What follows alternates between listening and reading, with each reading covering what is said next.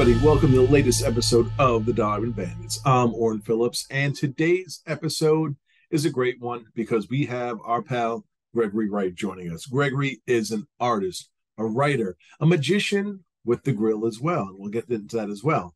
Uh, Ray has worked on some really cool projects from Deathlok, Silver Sable. Uh, he's on Superman. He's on Morbius. All sorts of great characters throughout Marvel and DC, and as well as you know independent books. Uh, we get into that.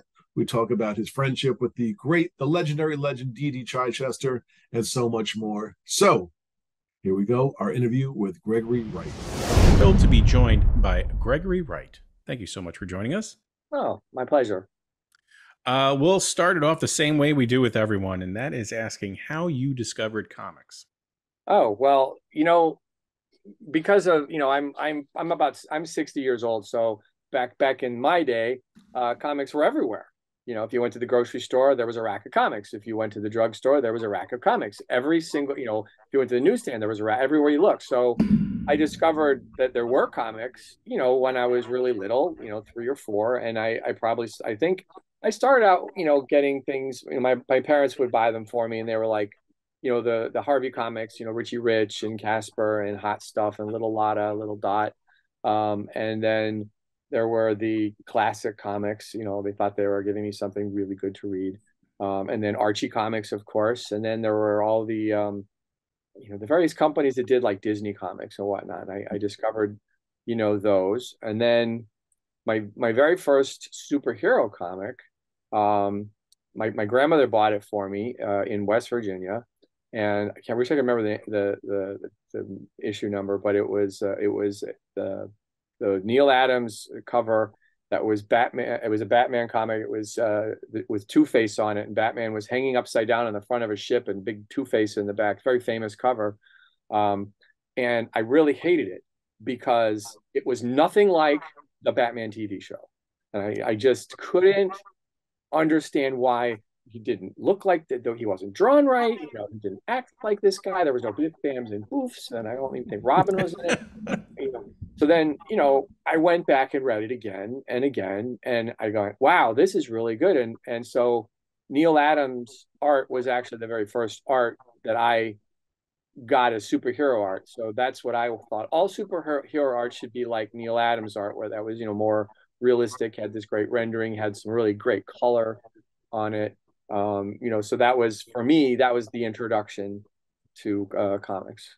Very cool. Now do you have any of those comics still i still have that comic yeah i do i have all my comics from when I, w- I was a kid they're not they're in terrible shape because they didn't you know back then you know was, most people bought a comic and they threw it away uh, I, I thought I was the crazy one keeping all these comics. I had no idea people actually even kept comics until you know years went by, and I went, "Oh, maybe I should put these in bags so they don't disintegrate any any further. Um, you know, because I bought them to read them. I wasn't, you know, and I still don't really believe in collecting comics. You know, they're I want to read them.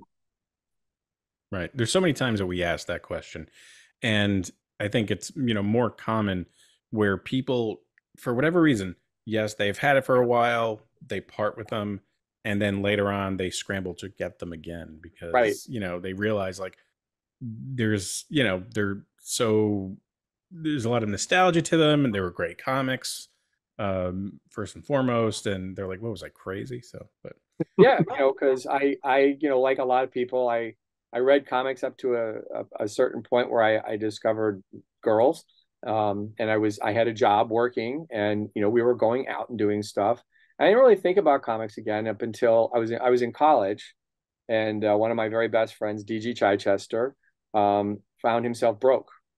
And he went and got uh, found a paid internship at Marvel Comics, which led him to becoming an assistant editor at Epic Comics with Archie Goodwin.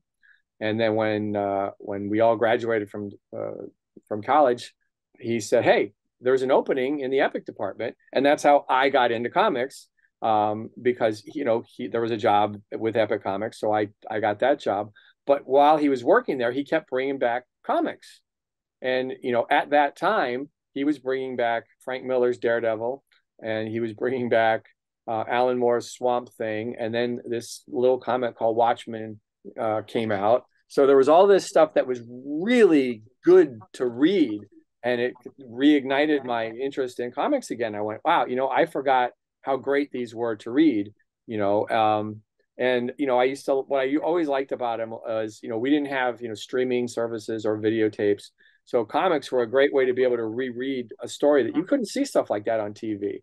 Um, and they did movie adaptations, you know, so being able to like reread the Star Wars movie in comic form um, was awesome, you know. So th- right. those got a lot of use because I would reread those like like crazy, you know. And I bought every stupid movie adaptation um, that came out. Um, but there were some great ones, you know. Walt Simonson and Archie Goodwin did uh, that the Aliens, which is still uh, unbelievable. Uh, they did a really great Close Encounters, um, and I think they did Indiana Jones. Uh, the first, uh, I think they did Raiders so. of the Lost Ark, maybe, maybe. Um, but it was funny. So Walt and Archie were two people that I actually knew of in comics when I started working in comics. Um, and lo and behold, you know, while I'm interviewing for my job at Epic, who walks in, but my my to be boss Archie, uh, and I actually got starstruck. Um, you know, and he goes, "No, don't mind me. I'm I'm only in charge." And I I didn't I, I didn't know what to say because I was like, "It's Archie Goodwin," you know. Uh, and then he's refilling a candy jar because he always kept a candy jar on his his desk that people would come in and take candy out of so he, he was offering me candy and I was like, no, no, that's, that's okay. Um, so yeah, so that was, you know, it was interesting to like suddenly somebody that I actually knew, somebody that I had admired would just walks into the room while I'm having an interview. Uh, it really, it threw me, you know, um, but very quickly, you know, he, Archie was one of those guys, you know, he was just such a regular guy that um, he put you at ease right away and never treated me like I was the, the peon that I, I was at the time. Um, so that was cool. Very cool. So you you, you kind of touched on it, but how did you turn your your love of comics into a career, but specifically as a colorist? Well, I really only took a job at Marvel because I needed to do something that earned money for rent. Because uh, our actual goal was to we went both, both DG Chichester and I both went to New York University, um, and we studied filmmaking. Um, and I, in specific, I was studying a lot of cinematography and lighting. Um, so when it became apparent that we weren't going to be the next Steven Spielbergs and the little independent film we were hoping to get off the ground wasn't going anywhere, but comics was really fun. And it's very similar to making movies. You know, everything we learned at the film school, I could apply it to comics. So I, I came in understanding storytelling much better than a lot of other people and understanding how to use the lighting to help tell the story and the color. Um, so, you know, you didn't get paid a lot back when I was an editor. So you had to kind of supplement it and you try everything. So everybody wants to write, and it was hard to get some writing work. Um, I tried penciling, and that was not going to go well. Um, I tried inking, and that that went really poorly, as I didn't really understand how to use the the tool. And as I'm scratching on on my on the thing, of course, it's catching on the paper and just ink is flying everywhere.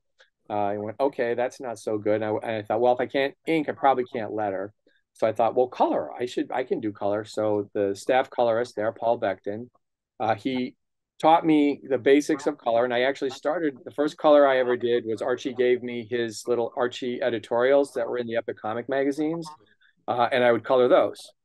Um, which was you know only dropping a few little things down but i got paid a full page rate by by epic to do it um, and it kind of got me going oh you know this is really cool and it you know opening a comic and saying hey i colored that even though all i had done was put three colors on it it was a you know i got a big kick out of that um, and then when i started working for mark gruenwald we were doing the marvel universe and that meant we were constantly having to do color corrections on stuff so i started out doing a lot of color corrections for Marvel Universe. And then one fateful day, um, Jim Owsley got fired. And when Jim Owsley got fired, uh, his assistant at the time uh, had to get an issue of Merc out the door in four days, or he was going to get fired. And all they had was a full script was written, and Mark Beachum had done layouts. So about I don't know, probably about ten or twelve of us spent several days complete days and nights at Marvel Comics, and we lightboxed it all up, and then we inked as much as I, you know, I I did ink some pages, but not the whole pages. I like I ruled things. I did the black stuff and did a couple backgrounds with rapidograph. But the big thing that I wound up doing was the all night coloring session where with uh, me. It was me, John Wellington, uh, Adam, and that was I think that was pretty much it. Uh, and I I realized how much fun it was to color and how I actually understood how to color. I just didn't know what the codes were or what colors we had, so I had to help that. Um, and I said, hey, I can use all of the my lighting knowledge for that. Um, and once I started doing that, uh, artists started responding because suddenly people were paying attention to the lighting that they were putting on the characters. Um, and I wasn't just coloring everybody their normal colors because um, that's how a lot of comics. You probably remember a lot of older comics. You know, Superman was always colored that same blue, that same red, that same mm-hmm. every time. Um, and I said, well, what if it's dark? You know, he would be darker. What if he's in brighter sunlight, or what if a red light is shining on him? And I would do that or add a highlight um, and and that was very satisfying. So that was that's how I kind of became a colorist um, by you know applying what I learned. But the first real job I got was it was West Coast Avengers Annual number two, and I really hated the current colorist on the book, and I, I begged Mark Gruenwald, who was I was now his assistant editor. I said, "Let me do this over the weekend. I'll do it on spec. If you don't like it, you don't have to pay for it, and we can hire whoever you want." And he said, "Well, I can't really say no to that. We had plenty of time, so I I, I took the weekend and I I poured my all my work into it, and I brought it in, and uh, and he liked it, uh, and he paid for it. I was like, oh, I feel so good. Um, and then I showed it to all the other editors, and very quickly they were all giving, you know, because books were always late, so I was constantly coloring a page or two from almost every comic at Marvel. So I would take home 20 pages of, color, of pages from different books and have to color them and try to match the colorists that were doing it. But because I did work on Marvel Universe, I knew all the characters' colors. Um, so I was kind of like built-in reference. Um, so yeah, so that worked out well until I said I got to stop doing this and, and work on a, a book that it's you know uh, for, for me. So I'm I'm not you know constantly copying you know what Glynis is doing or what Petra is doing. Mm-hmm um, I needed to do my own thing, and you know, fortunately, I started getting that opportunity. So, I I, I liked your. Uh, I found what you said about lighting very interesting because I, I I find it to be extraordinarily important, really, for any type of medium, whether it's comics, painting. Uh, I do a lot of video work and you know shooting and editing with it. It just really makes the shot. You know, obviously, yeah. um, other parts of it, you know, come into play. But the lighting, if you get that right, it'll make even the worst film just look amazing. Oh, it does. You know, it, it, and we learned that in in film school. They, you know, we would look at, you know, beautifully shot films and how it looked so much like it was a better movie, you right. know, than a film that was, you know, terribly shot. I, I used to laugh at. I used to call most of the coloring Three's Company color um, and if you remember the TV show Three's Company, it's a typical sitcom. It's just brightly lit. Mm-hmm. There's no storytelling with the color, and they didn't know what's color storytelling. And I said, well, it can be as simple as making it look like night, or making it look like a, a cloudy day, or you know, saying I'm gonna, you know, or or just I, I used to like to take every scene I gave it a different color scheme so that you could tell I was now someplace else because artists don't necessarily draw something different. Um, you know, so you can wind up how you know, and Jim Shooter made it worse because he wanted white everywhere. So he, you know, colors were constantly putting white backgrounds everywhere. It looked terrible, um, and he didn't know what he was talking about. In uh, you know, and so you know, I would I would add white backgrounds just to keep him quiet Um, because um, he would oh you can't do this and you can't do that and you know and finally Barry Windsor Smith came in one day. He was talking about white space. And I said, What are you talking about? I said, Jim Shooter says this. He goes, Oh, he doesn't know what he's talking about. Here's white space. And he showed me on his color guides that he had just brought to me how he had used the white to be the brightest part of the page and how you had to have these other colors around it. And I just, my brain just went, that makes sense. And he goes, but you got to have the white, otherwise you can't see these other colors. So if you just put blue all over the place, it doesn't look blue you got to get some white and you got to put a bit of red. Otherwise, you know, and Tom Palmer was another one that would go over the color theory with me. But it mm-hmm. wasn't until Barry showed me his pages because he had a lot of white space on his pages, but it was very deliberate white space to draw your eye there, not just random bits of white, which is what Shooter thought was white space. Hmm. Um, so yeah, it was good to get that that very important lesson from Barry Windsor Smith, um, who was actually more irritated that I didn't didn't know that already. Um, what was your experience with Epic like, and what did you learn as a young man about the industry from your time there? Well, it's funny. I I began my staff time at Epic, mm-hmm. and I ended my staff time at Epic. Okay. So when I, I, you know, what I learned at Epic originally was that there was nothing more important than the creator because they were creator owned titles.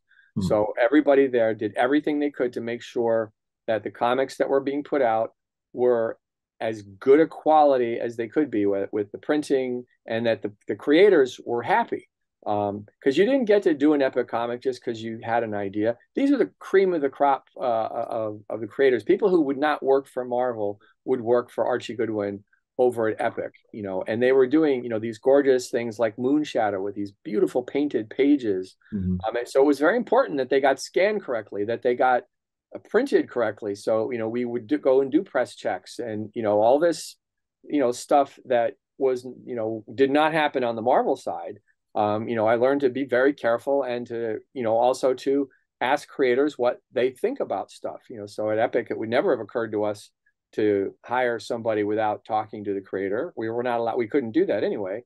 So if we had to hire a, a different artist for a book, we had to consult with them. Um, and you know, it was always easy. You know, we just consulted and we said, well, this is what we were thinking. Okay, that's fine. Mm-hmm. Um, so you learned, you know, and I learned how to deal with a lot of egos because mm-hmm. it's their book. You know, um, so when I moved over to the Marvel side, first thing that I was surprised at is at Marvel, it's just tough shit um, that, that we're going to change your story completely without telling you. It's tough shit that we're giving you an inker you don't like. We're not even going to ask you these questions. Um, mm-hmm. We can just fire you at will. Uh, and this was a big shock to me. Um, and I said, well, I think maybe we should ask the penciler what they think of this particular inker and stuff. And that really got a lot of creators um, on my side because people weren't asking them. Uh, and usually it wasn't a big deal. It's like, oh, I really hate this inker. Why didn't you say something? Because then they yell at me. Like, oh, well, how about if we use this inker instead? Oh, that'd be great. You know, um, and and it was, you know, and the same thing with the letterers and everything. Um, but I, because I understood the whole production side of what was actually possible, um, that was very helpful to to the other editors at Marvel who just they didn't do that. I mean, with the exception of like Carl Potts, who knew everything about design and production, but the production manager at the time was an imbecile, and you know she thought you could glue balloons down on painted pages. Um, and thankfully, one of our because the bullpen got people were great, so they they stopped that from happening. But she would say, "No, we can't do that," and I would say, "You're wrong. We did that at Epic every day." Well, but no, no, there is no well. We can do it. You can say we're not going to pay for that, but don't tell me we can't do it. We can do it. And I, w- I was constantly having to prove that. But I was shocked that most of the other editors did not understand that, or that they were so cavalier and just changing stuff. I mean, we were just, you know, redraw artwork on the artwork. You know, we take it down to John Romita, and you know, they would electric eraser out. You know, you know you know sometimes they would actually put a patch on you know because john just i mean if it was a you know if it was something like john B. buscema tom palmer stuff he's not electric erasing that he would he would make a patch and he would put that patch on he said i no so you you know some at some point somebody could rip it he just did not have the heart to destroy um any of that but you know we could do that you know you hmm. know and and it wasn't you know and artists kind of knew that was the thing you know and, and again i would offer artists hey we need to fix this. Do you want to fix it or do I, you want me to fix it? Oh no, I'll fix it. I'm like, okay. And, and but they would thank me because they weren't even given that opportunity. It's like, if we had time, why not have, you know, the artist or I said, just come in and fix it, you know, because I would have people in my office fixing artwork. And like, why do you have them fix it? I said, because they wanted to come in. I said, now I'll take them to lunch and we all get a free lunch. do you think Marvel pushed the Epic line as much as they could as far as advertising went? Marvel didn't have anything to do with Epic, really. You know, okay. Marvel there was, you know, the the marketing and sales at Marvel basically was their own thing, and they didn't really. It's hard to. They were kind of at war with each other. They wanted to promote what they wanted to promote, uh, and Marvel wanted them to promote what they wanted them to promote. Uh, so it was, you know, and they all thought that Carol Kalish was going to try to take over Marvel, which I don't think was really the case. Mm-hmm. Uh, I mean, you know, she was actually brilliant. You know, she started the direct market. She made the direct market actually a good thing. Uh, mm-hmm. had she uh, lived a lot longer, I think things would be a lot healthier with a lot of those markets. Mm-hmm. Um, but you know, they, you know, they didn't really. You know, Epic kind of went and had went directly to them and had published things. You know, did their own kind of marketing and stuff. Um, but it was, it, you know, that stuff. You know, none of it sold all that well because it wasn't uh, the main characters. You know, and like, you know, what what the hell is Steel Grip Starkey and the All-Purpose Power Tool? You know, mm-hmm. all, all you had was you know Alan Weiss. You know, um, you know, if you wanted to buy Alan Weiss's stuff. Um, but you know, certain things like Moonshadow, it was never a great seller, but everybody mm-hmm. acknowledged that it was brilliant.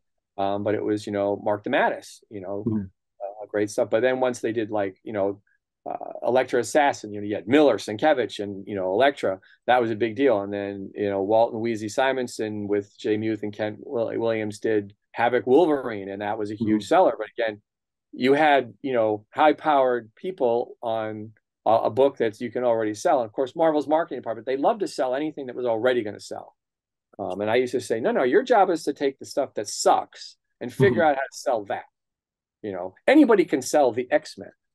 You know, it doesn't need any more help. You know, but everything else does. Um, but they didn't like, they didn't quite enjoy the my my attitude. and a name you mentioned before, uh, Mark Gruenwald.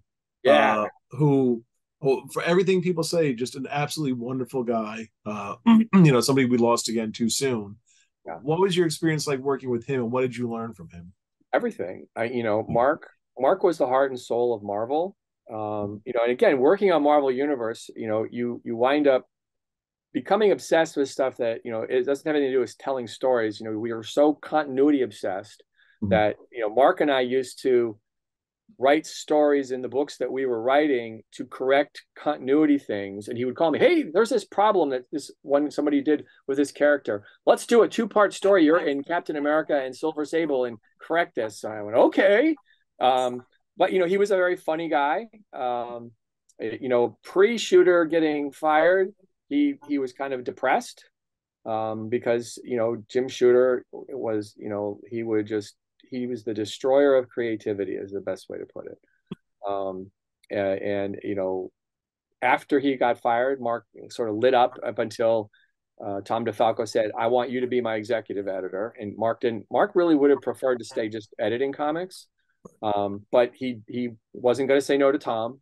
Um, but you know he he kind of re woke up and got very creative. But you know mark was very generous. You know he was happy to give ideas to everybody. Um, no ego. Um, you know, he he taught me to really understand. He taught me to really love every character um, mm-hmm. instead of just you know the characters that I came in really liking. Um, and he gave me a huge amount of responsibility that I hadn't even earned, which I thought was amazing.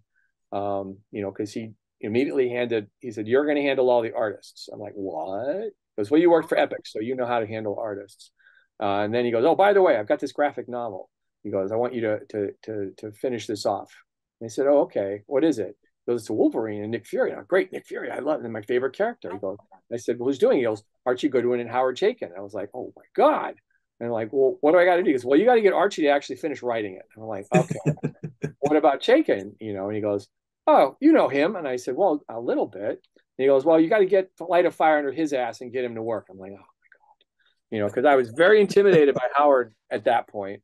Mm-hmm you know, so I, I lit a fire under Archie by calling Howard. I, you know, and you know, and Howard, I, Howard is a really great friend of mine now.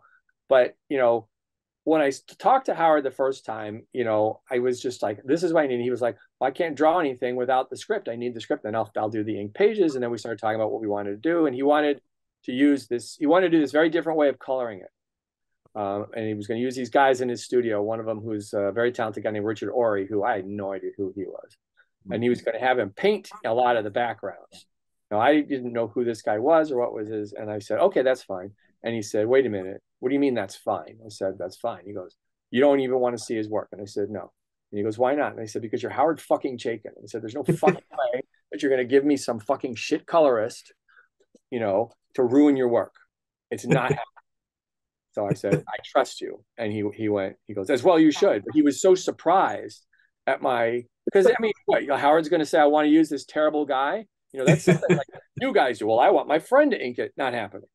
Right. Um, you know, and when the pages came in, I just I couldn't even believe what I was seeing because you, I mean, they painted a lot of back. I mean, like Machu Picchu is suddenly painted in that wasn't there. You know, these if you ever see the black and whites of of the have the that graphic novel, there's not a lot there, but it, it was meant that way to have the people paint in the stuff. And it, at the time, it was very revolutionary because nobody had done that before. Um, and now people look at it and go, you got to really look and see how much was painted in there. But that was brilliant. But that was like the first thing that Mark said, you handle this. like, oh, you're, you're gonna you're gonna make me handle Howard Chaykin. But you know, there was nothing to handle. Howard just did the work brilliantly, like he always does. Mm-hmm. Uh, it was just having you know yell at Archie, and I said, you know, and I said, Howard wants to ink.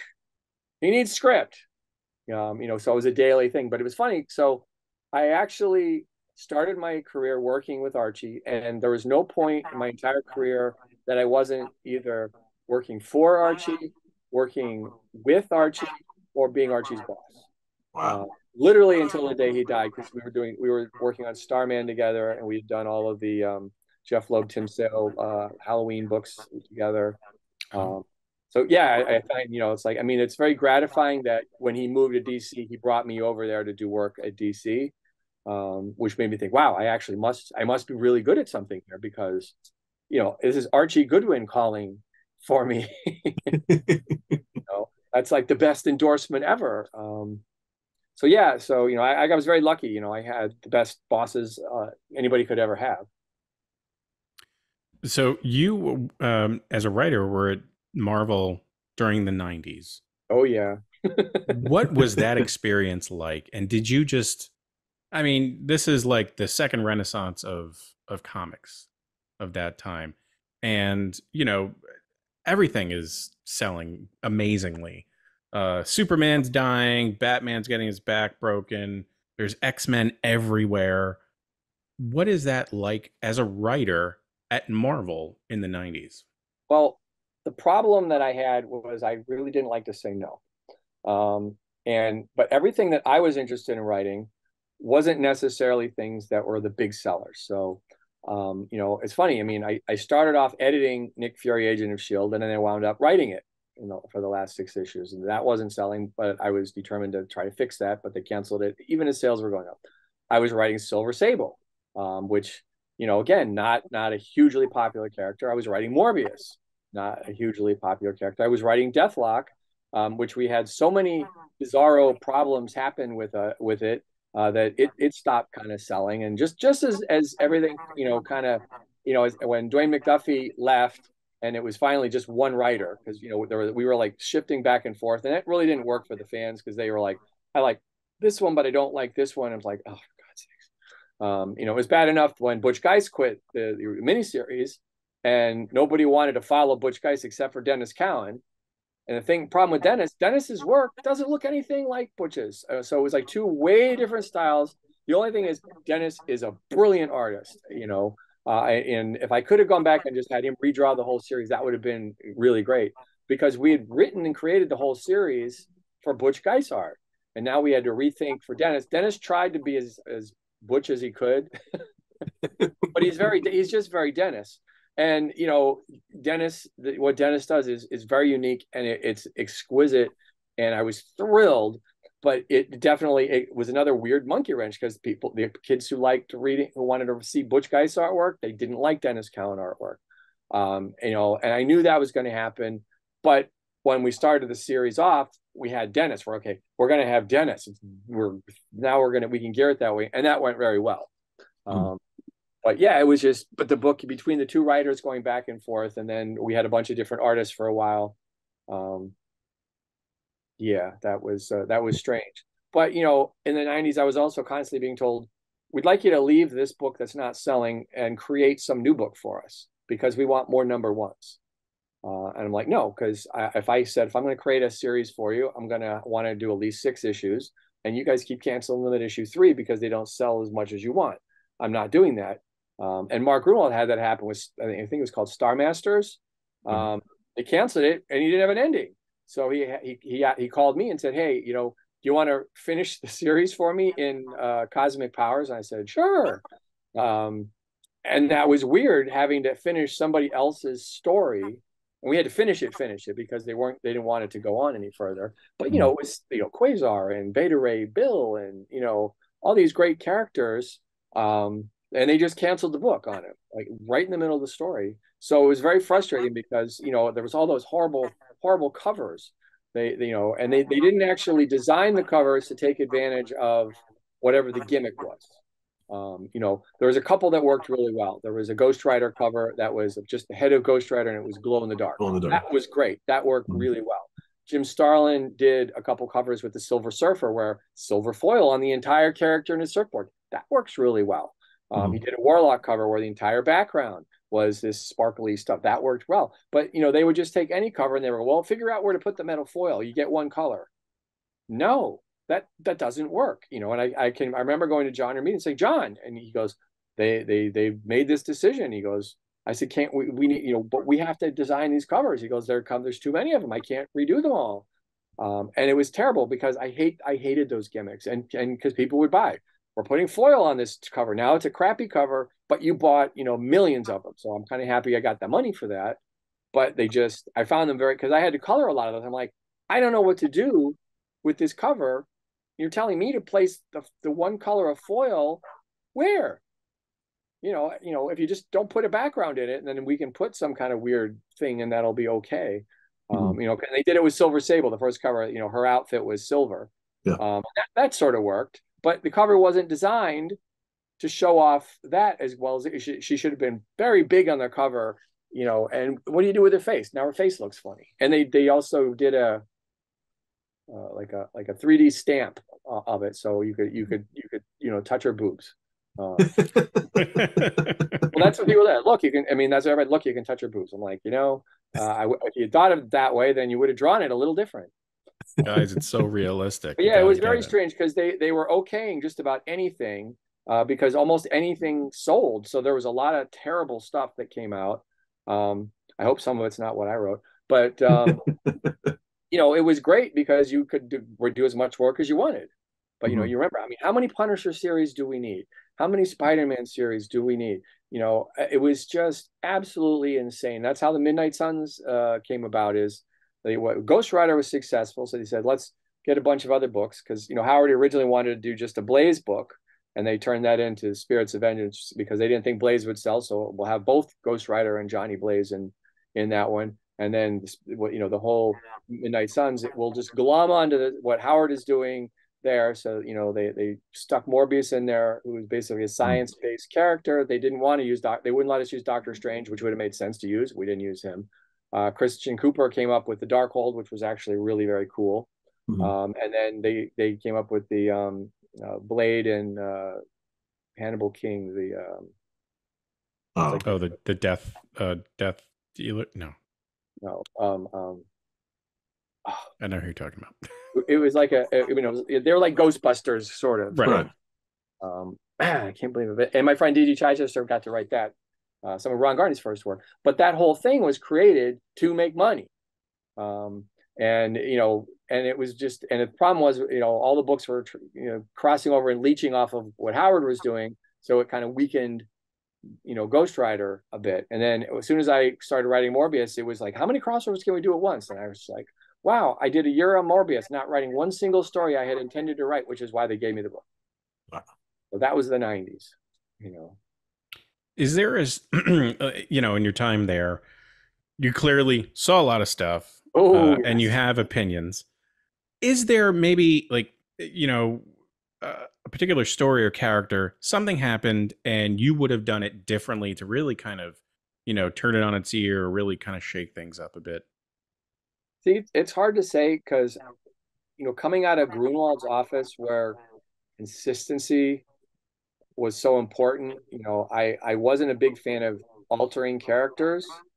Um, uh, you know, it's like I, I hated when they did the ultimate line. I thought it was a slap in the face to everything.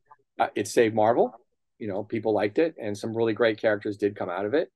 Um, but yeah, you know, it, it wasn't I don't know that I thought there was I never really thought you know this is how you know we should do it. You know, I mean, I thought you know like Frank Miller, he did the definitive version of Daredevil. Um, I didn't think there was any need to, you know, monkey around with it. Walt Simonson, you know, kind of that that's the way you do Thor.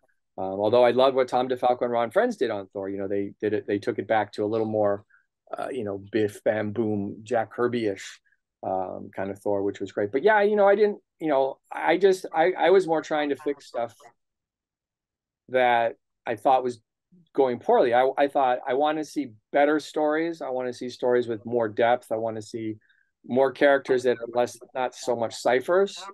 Um, you know, so when when they gave me Silver Sable, I said I don't want the Wild Pack to be just a bunch of idiots that are like Star Trek uh, guys in red shirts get get killed. Mm-hmm. Um, so I created a whole bunch of characters that I was interested in writing. Um, and and they were different. I, I wanted to see some more different characters. You know, when you know, Dwayne and I came up with Deathlok, our version of Deathlok. You know, we made him a pacifist. You know, mm-hmm. and he wasn't a hero, uh, and that's why we got the book. Um, so I wanted to see more of that. I wanted to see you know more intelligent stuff because the stuff that I like to read wasn't what a lot of the comics really were like. You know, I mean, I, I like the X Men because Claremont was he was the one bringing in all. He was really bringing in interesting characters, very different, diverse characters and powers, and not everybody who, who was bad was necessarily bad, and sometimes the heroes became the villains, and that that was very intriguing to me. Um, whereas a lot of comics was, you know, the, the hero just went and did the heroic thing and came back. You know, uh, you know, it's like Superman. I just, I would never want to write Superman. Uh, he's just to me the most boring character. I I you know always I like the character. I like the more street. I loved writing Daredevil. You know, here's a blind guy who's a lawyer who who knows the system's all screwed up and goes out at night and tries to fix stuff uh, against the against the law. What a what a cool you know way of thinking. And I you know Nick Fury is my ultimate favorite character. You know the, the original Nick Fury. Um, you know, and again, he's he's pretty much a regular guy who's been around, you know, for like 80 some years. you know, and he just has to use his wits. I thought that's an interesting character for me.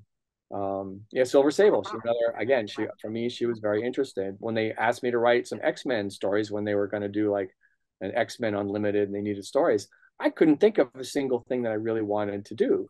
Um, because like, well, Chris has already done everything that's interesting. You know, I, they're not going to let me, you know, do some, you know, do something terrible to Wolverine. You know, I mean, you know, you know we all want to write Wolverine, you know, but you're just going to write Chris Claremont dialogue. Um, so yeah, I mean, that was, you know, that, that was my curse because I didn't want to, I didn't want to write the big characters. Mm-hmm. So when a, a, series came up that I wanted to work on, I had a couple times they said the sales and marketing said, no, he can't write that because his name's not big enough. Wow well, thanks for letting me do two months worth wow. of book beforehand.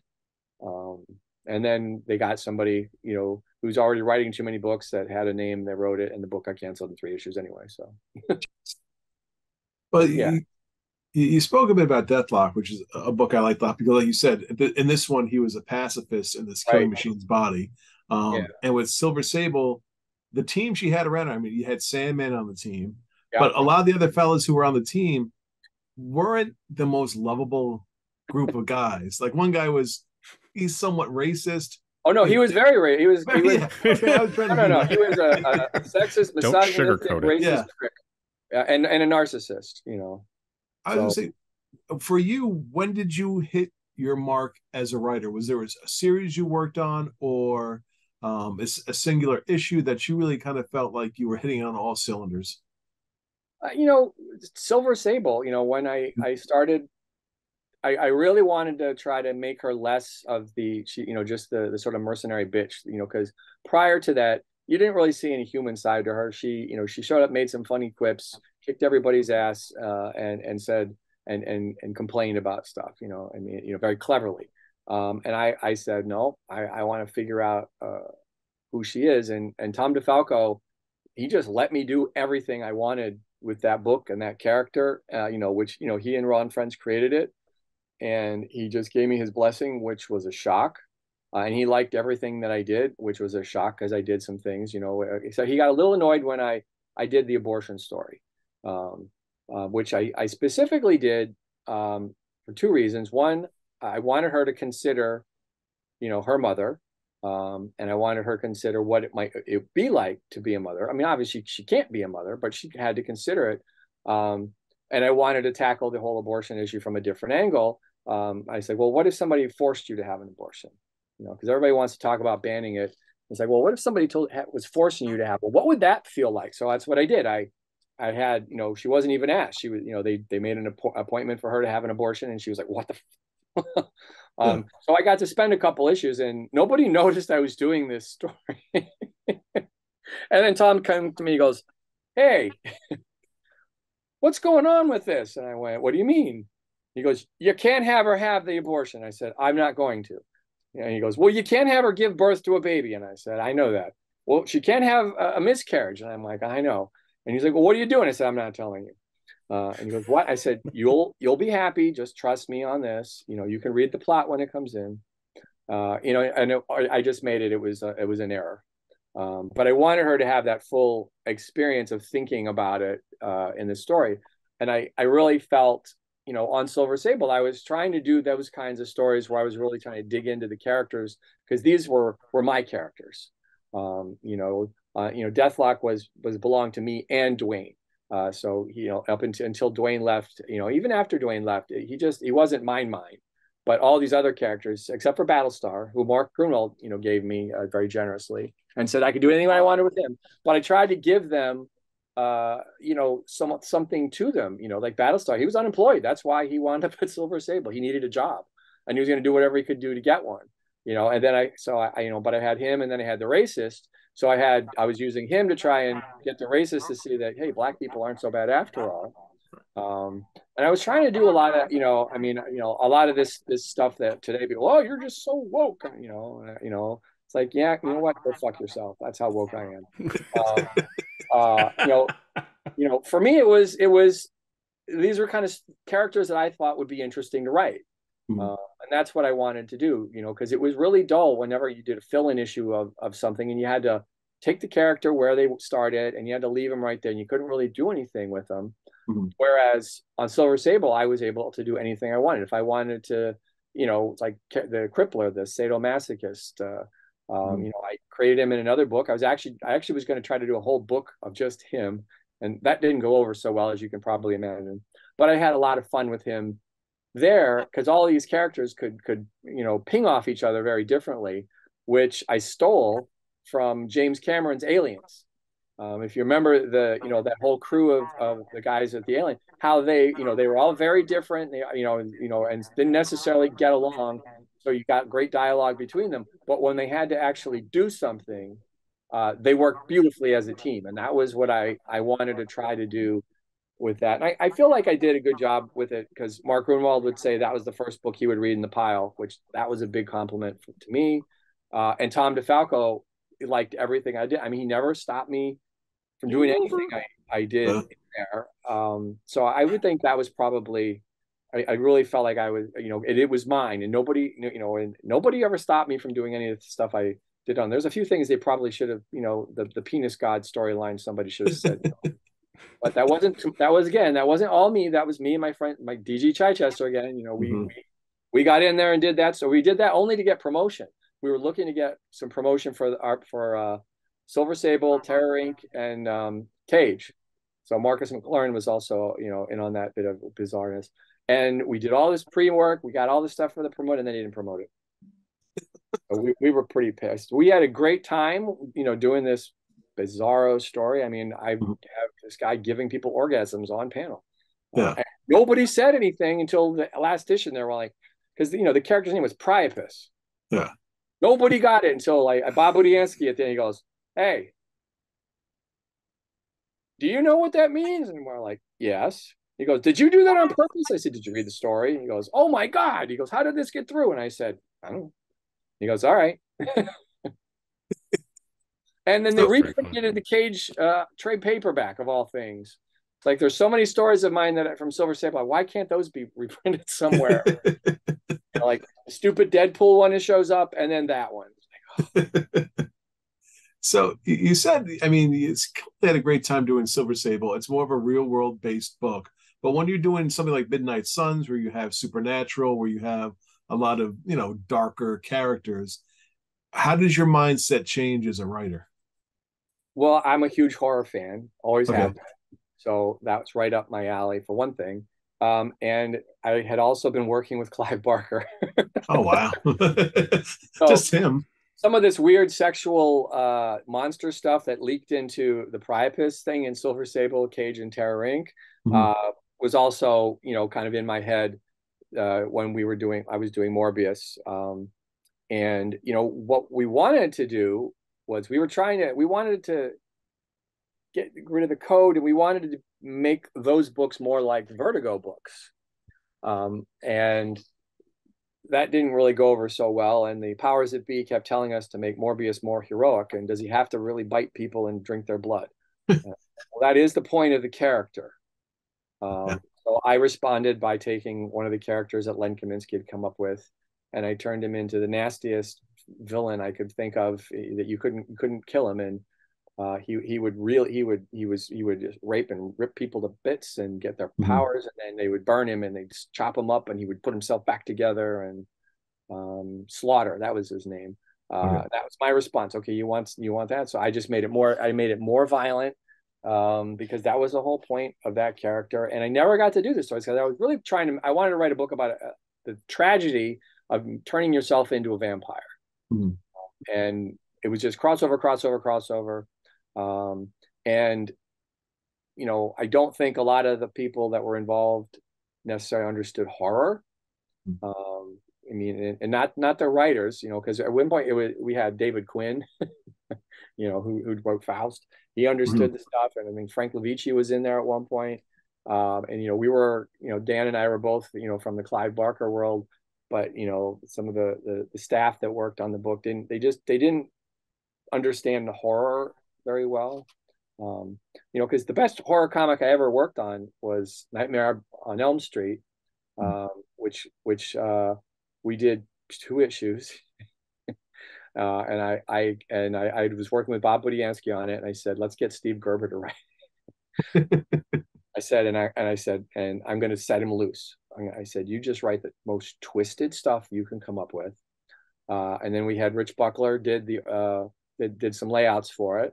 And then I, I got I think it was I got Alfredo Alcala and uh, Tony DeZuniga, and I and I, I said I don't want to see any of this crap that I've been seeing recently. I want to see this old black and white stuff. And I said, yeah, I want to see all the drippiest, the gooeyest stuff.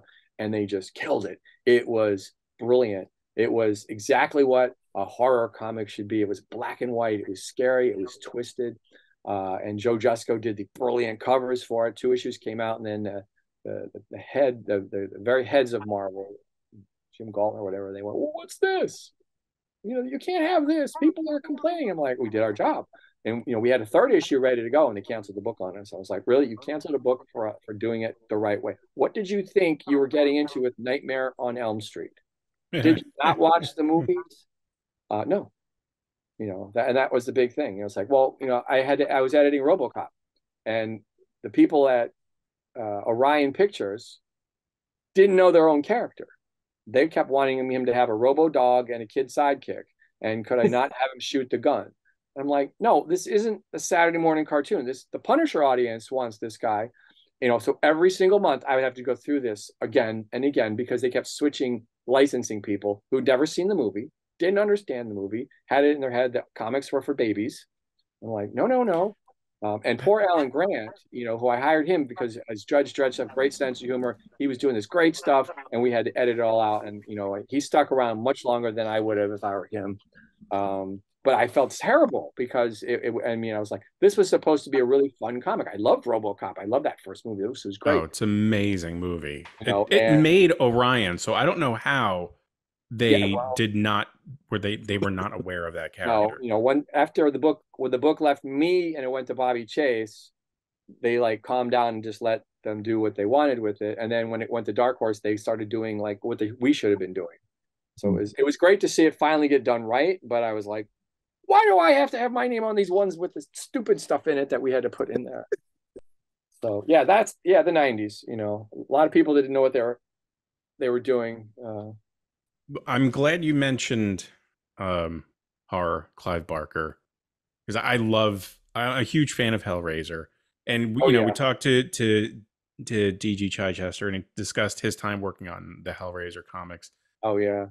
How did you get involved with Nightbreed and working with Clive Barker and all of that? Oh well, going kind of back to when you talked about my time at Epic. So okay, once I became a full editor, I was a full Marvel editor and Epic editor, and Dan and DG Chichester had left staff, so I inherited most of his books, which included Nightbreed. Uh, Hellraiser went, I think it went to Marcus McLaurin, or it might have. I'm not sure who got. I I wanted Hellraiser, but um, I didn't get that one. Um, so I wound up with a lot of those horror things. So when I got Nightbreed, the funniest thing about it was um, they were they had done Dan had already done all the work on the movie adaptation that was done, and it was supposed to start up a new series.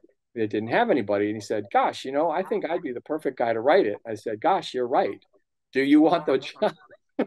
so I immediately hired him, uh, and then uh, uh, you know, coincidentally, at the same time when that happened, um, uh, uh, Blevins, who was working with Weezie Simonson on New Mutants, uh, found himself uh, unceremoniously booted to the curb because they found this kid named Rob Liefeld uh, to come in and you know create a few you know silly things like Deadpool and Cable, and I, I think he made the sales go up a little bit. Um, yeah, so whatever you know, happened so, to him? You don't. Yeah, I know. You know, so you know, Rob, Rob, you know, so Bret was available. I was like, this is awesome. I'll get Bret to do Nightbreed. Um, so Bret couldn't start it right away. So I called my buddy Butch Guice and had, and he actually agreed to do uh, an issue or so. And then Bret came on board.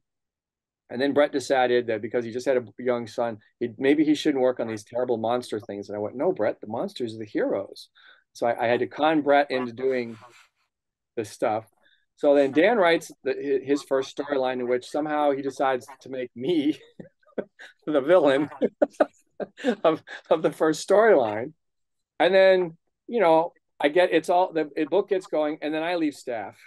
So my name is only on the issues of Nightbreed that I didn't edit, which is the movie adaptation.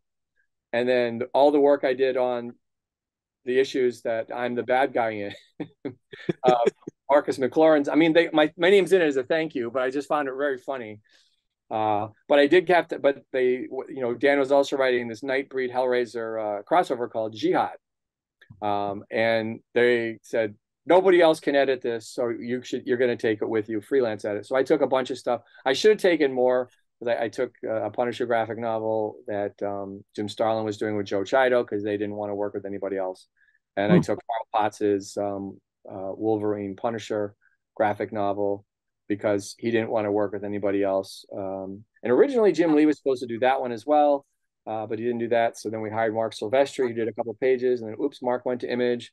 Uh, and then I, I, found Gary Erskine, uh, who did a brilliant job. Um, but yeah, so that was another one, you know, because Jim Lee was doing my Punisher Nick Fury graphic novel that he and I co-plotted that nobody's ever seen. Um, there's 20 pages and finished. brilliant stuff, but unfortunately, X Men took over, and then Image took over, and then DC took over. So no, we will never probably see that unless Jim quits DC and decides. Probably not happening anytime soon. I don't think so. You know, I, I, I, you know, he's, he's, you know, he's made some very good decisions for him, but ah, that kills me that that that'll never see fit. So that's you know, so yeah, so that's how I wound up getting involved with Clive Barker and the Nightbreed and the Hellraiser and uh, and then I got to, you know, and I got to write, you know, Dan needed to take a few weeks off. So I got to write uh, three issues of Nightbreed, which was absolutely wonderful. Um, and I kept doing horrifying things in it. And I was like, Clive, are you sure this is okay? Goes, yeah, I love this. I'm like, you know, nobody is more enthusiastic to work with than Clive. You know, he, he really didn't, he didn't mind anything we were doing with his characters. Um, you know, he's a really fun guy, but your brain starts to work in a very different way when you kind of enter Clive's universe yeah, can I just tell you? I'm glad you mentioned that. So I've read, you know, um, I started. So I've seen the movies. I, I started to read the Hellbound Heart, and I got a little creeped out, and I had to put it down. But then I read a lot of the other other like uh, comics and some of the more recent uh, Hellra- Hellraiser comics. Yeah, and it makes you wonder. And I think it's the same holds true for like Saw movies and things like that. That someone had to think this up. You know, someone had to sit there and be like, okay, I'm going to have this guy you know, chained up and then hooks are to come flying out of here and rip them apart. Like, you know, what goes into this person's mind to come up with this stuff? And it just goes into like the darkest places. And yeah. it's one of the few horror movies or series that, you know, like as a kid, it always freaked you out, like Nightmare on Elm Street and Jason and all that yeah. sort of thing. Eh, but you kind of grow out of that. But that one, like Hellraiser and that stuff, like it's still just kind of very uncomfortable looking stuff. It is um, absolutely. Um, one of the things that Clive, you know, told me to get this this book, um, and it, that to you know to understand some of his thinking, uh, and it was a book on like scarification. You know, that people that do body things to themselves, and and some of the stuff is not for the faint of heart to look at. Yeah. Um, but he found it beautiful um, and not in a creepy way. Just you know, he he so, saw the beauty in it. He sees all, all the beauty in these these monsters who, you know, they looked horrible or they looked deformed or they looked, you know, like they had you know their face peeled. He you know, and he saw that, and you know, when I started doing, it, I started thinking about some of the characters that I was going to write. You know, well, how do I make this sadomasochist guy not a monster? Um, you know, how do I you can't make my racist character. There's just nothing about him that you know he's I, I he was horrible. But you know you start thinking about that and you think about Doctor Doom didn't think he was a villain. You know uh, Magneto did not think he's a villain. You know Submariner did not think he. I mean Submariner started out as a villain. Um, you know he's not a villain, and you know but you kind of see things that way. But you know I mean some of us you know we just sit around and think of horrible things for know apparent reason. You know it's like when you get irritated with something you think well what would that be like and you know you just keep pondering it and pondering it and you go wow if i ever told anybody about this but oh wait i write comic books you know um what how would i do that? And the problem is see clive is an artist so he could draw some of his fantasies out. Same thing with neil gaiman is actually an artist. He can draw his stuff out. Tim burton is an artist. So they don't have to depend on writing this stuff and waiting to see will an artist get it? Um, because if you think of some of the stuff in hellraiser and stuff you know, if you didn't see a sketch by Clive, you wouldn't believe that he actually meant the description that he said. Um, you know, and I think that's one of the things is, you know, artists that, you know, really have, you know, I mean, there, there are comic artists that are beautiful illustrators, but they can't think up anything. If they don't have reference, they're doomed. You know, I can't tell you how many times I've described a scene and I got back nothing. Um, you know, or a monster and it's like nope that's terrible. You know if only i could actually sketch out what i'm thinking in my head um, you know i would have to send you know reference but you know i don't want this to look like this thing that barry windsor smith drew. I want it to i want it to look original. Um, and you know but it is that the more you you draw and play and stuff it's like you know uh, i think of you know when when i would sculpt um, you know, you start sculpting a face, and the next thing you know, your finger slips, and oh wait, that's interesting. And then the next thing you know, you've drawn, you've created this hideous looking monster, uh, and then you just keep adding to see what what what happens. You know, I mean, it's the you know, creativity is free, um, which is what's really fun. But you know, it depends on what you you know. I watched a lot of horror movies. I read a lot of horror. I used to read a lot of horror novels. I love science fiction, so a lot of that stuff seeps you know it just sort of seeps into what what you want to do. If all all you want to do is watch beverly hills 90210 that's all you're going to get. Um, and that's fine you know but I, I watch you know everything you know i just watched the documentary on the american gladiators and i'm going oh. Loved it. Oh my god. So i was like this is great. I said i if, if i'm writing a comic right now there's a lot of stuff i would be utilizing from what these guys say and how they were feeling afterwards. You know, I thought, wow, that's kind of how Battlestar was. He'd done everything he could, and then they just kicked him to the curb. You know, so he needed, and now you know that I was like, oh boy, I could have worked with that. But yeah, that was great. I, I'm, I mean, but again, I would watch stuff like American Gladiators and and Sex in the City, and you get these different sorts of things in your head because you know you just can't live on a. I mean, a lot of people, I guess, they live on a diet of one thing, and I just I don't, you know, I like a lot of, I like to read a lot of different comics. You know, it's like, you know, Groo was one of my very favorite things at Epic. You know, the pages with Groo would come in. That was the greatest thing. You know, I get to read these comics before the kids would get to read them. And I got to read, you know, the big black and white art that Sergio did. And, you know, sometimes, you know, he would come in and, you know, and, how you doing? Whack and slap you on the back. And, you know, he was, oh, you know, it's like he was strong. Joe Kubert, you shake Joe Kubert's hand, you might not get a hand back. Jack Kirby, very strong handshake. Wow. You know, the things you remember about. Yeah, what do you remember Jack Kirby? He crushed my hand. Yeah. Very nice man. I say you've been an editor, you've been a writer, you've been a colorist. Yeah. Is there one? Could you have seen a career focusing on one, or did you need to have all three to be as good as you were with all of them? I I have a lot of trouble focusing on one thing. Okay. Um, when I wrote stories, I wrote them in color because I was going to color them. And originally it was that was the way I, I could get more money. I, am going to write the story and I get, please let me color it. But I was writing them in color. So I was writing visuals that I wanted to color and I wanted to color to tell a story. So by the time I started working on comics that had really good stories, I was having writers calling me because they knew I was going to do color storytelling. Um, and that's how I hooked up with James Robinson, who was the writer on Starman. Um, so he wanted me because I did a Terminator story with him over at Dark Horse, in which he really didn't like the artwork until I colored it. and he said, You fixed the stuff the artist didn't put in. It was just mood. So he wanted me on Starman, but also Archie Goodwin was the editor of Starman. And then the artist was Tony Harris, who I had discovered um, at a Heroes Con, and he was doing horror comics. Uh, and funny enough, and I said, "My God, you know, I need to get you over to Epic. You should be doing Hellraiser and stuff." Um, and so suddenly, I got offered a three issue stint on Nightbreed, and I went, "Ah, get Tony Harris." So Tony actually did that. So Tony wanted me on Starman. So the whole Starman team basically wanted to work together um, and again, it was all about that sort of doing the color storytelling, which I don't think I would have tried to tell the story in color as much if I wasn't writing as well. Um, but you know, editing, you know, I, I, I couldn't even really pick a favorite. I mean, now all I mostly doing color now. Hmm. Um, but yeah, doing the three made it better. But there, you know, a lot of people are. I find the better comics tend to be done by people that do more than one thing. So you know, we have a lot of writer artists um, some of them, you know, Dan Panosian's now, you know, like doing everything. You know, I don't know what the, I don't know, I don't know where like the brilliance of him came from. You know, it's like I remember was, you know, doing you know the the image style inking, and he was just trying to do work, and then all of a sudden his work is brilliant. I mean, it's just everything I see, I'm just shocked. His mm-hmm. color on top of it is gorgeous. Um, it's just brilliant stuff.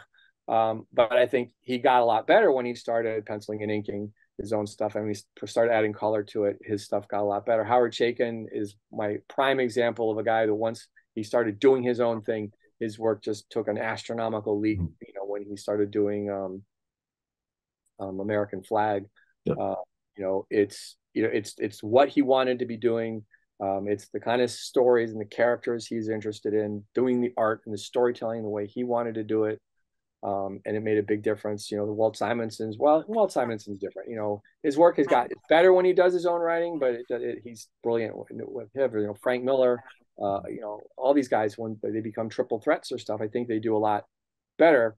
And at Marvel, if if you're going to be an editor, I don't. I mean, honestly, if you can't do a couple of the disciplines, you're not going to be a good editor. You know, if you you better be able to write a comic and you should be able to do you know most of it you know because when i got my job at marvel mark gruenwald writer he could ink he could pencil he could color. Bob budiansky he could do the same. Carl potts they could do the same. Larry hama could do the same. He had all these guys that could do all this work and that's one of the things that made them phenomenal editors. Um, and you know they you know and, and when somebody when they were critiquing a creator they knew what they were talking about you know, I mean, I couldn't draw. That used to frustrate me to death. So I would drag them down to John Romita and have John Romita go at them for a while. But I understood the storytelling, you know, and you brought me shitty storytelling, I'm going to rip you to pieces. Um, you know, and I was lucky. I, you know, we had the great Jim Novak in the bullpen, and you know, we had, you know, so they all taught me about lettering, um, mm-hmm. which I had no clue about how that worked. You know, originally I thought it all looked the same. How stupid was I? Um, but it, you know, and then Chaykin, uh, he'll tell you just how important uh, Ken Bruzenak is to his art. Hmm. Um, you know, he considers that a crucial part of his art, um, and won't stand for anybody just calling Ken just a letterer. You know, um, you know, because it's he taught Howard the importance of the design, and you know, Walt Simonson kind of feels the same. Um, so yeah, again, I had the best teachers ever. Um, That's awesome. It was. Uh, that really? it um, really was. Before we go, I want to ask: uh, Do you have any upcoming projects uh, that we can look out for, or where can people follow you on uh, social media? Well, I'm on Facebook. You just look for me there. I'm easy to find on Facebook. Um, I'm on Instagram. Um, I think it's she writes stuff. Uh, mostly, it's just pictures of food because I I do a lot of cooking. So, um, and I do I actually do a lot of charity barbecue. So I got one of those coming up Saturdays. We're cooking for I think 600 people it's for uh, veterans who've um, uh, had limbs removed and they're playing a softball game. But you know th- these guys are hardcore softball. You would never know that Yeah. they don't have limbs. Um, so we're cooking for about 500. So uh, yeah, so Instagram is usually mostly food pics, but Facebook's the best place to find me. Um, I showed up on Threads, but I probably never look at it. I'm on Twitter very rarely. You know, I, I show up, and if somebody mentions me, I you know, I oh thanks. Um, um, you know, it's like if you guys are on Twitter and you you post this, I'll I'll do a thing and go, oh, I'll be over here. Um, Where'd you get the name Dollar Bin Bandits? It's a great name. That's Oren. I just came up with it because uh, I don't have a lot of money. So when I go uh, comic shopping, I hit up the dollar. bins. But you know, you know what drives me nuts is people keep pulling up the, the, the one comic I wish I we never had anything to do with, and unfortunately, I worked on it. Joe Jusko worked on it. Jimmy Palmiotti worked on it. Denys Cowan worked on it. Nightcat. Everybody Oh, finds Nightcat in that in in the dollar bin, so and it's a great Joe Jusko cover. It's so terrible. and there was So a whole record involved with that too. And she was Oh uh, my gosh, it was ter- very nice lady. She came into the office. You know, you couldn't Mhm. take your eyes off her. She was gorgeous.